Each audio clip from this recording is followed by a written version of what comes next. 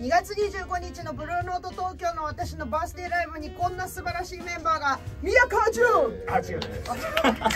すごいこうなってて鳥越圭介。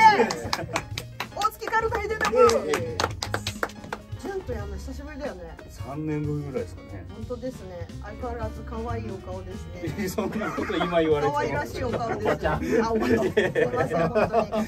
あの、もう本当に凄腕メンバーなので。